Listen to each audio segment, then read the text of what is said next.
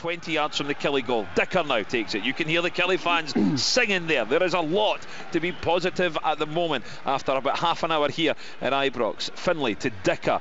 Dicker plays the ball forward. McAleny's going to get there. Griggsy's coming out. McAleny's round the goalie. It's a goal. Oh. Come on, 1 0 Killie. Just oh. on the half hour mark. What, what hu- was going on there? What a huge mistake by Allan McGregor to come out for that. He was never going to get there first. There's no question at all. You know, McAleny's got the, the, he must be four or five yards quicker.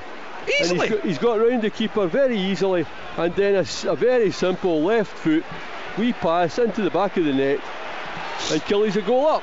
So there's been loads of pressure. It's, it's actually a problem Rangers have had, isn't it? There's yeah. loads of pressure, but not too many shots in goal at all. None that you would have said they should have scored with that one. And Kilmarnock, after 30 minutes, a goal ahead. Just on the inside. Uh, Kilmarnock continuing to defend here. Allen and Morelos oh, gets the better. He's through, oh, and it's a goal for Rangers. Morelos gets the better of the Kilmarnock defence. It was a lovely turn by the Colombian, and uh, Dan Bachmann really couldn't do anything about that. And you have to be honest, though, that goal has been coming for Rangers. Yeah, they finally got the chance. They had to get it eventually, I guess. So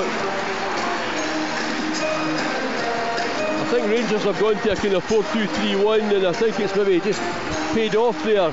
So now we've got to see if Kilmarnock can deal with it.